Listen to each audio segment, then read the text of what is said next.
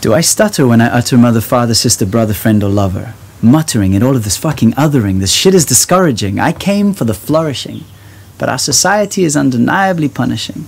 So disconnected.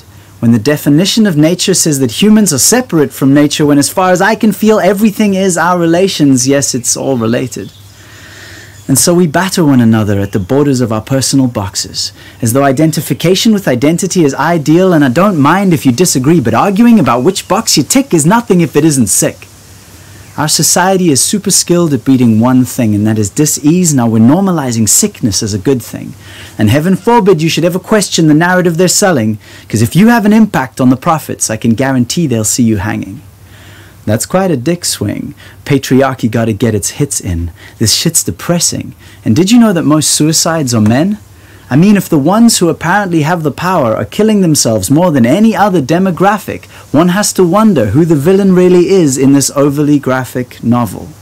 I'd never grovel, but I certainly beg for you to remember not to take as gospel any messaging which points you in an enemy's direction. You are the divine intention. You are the deepest lesson. You are the sickness and the medicine. You are the power and its apprehension. You are inventing everything with your every breath and thought and word. Oh, and did I mention there's nothing that you can't achieve with your action and imagination? You are it, dear friend. Now let's get back to manifestation.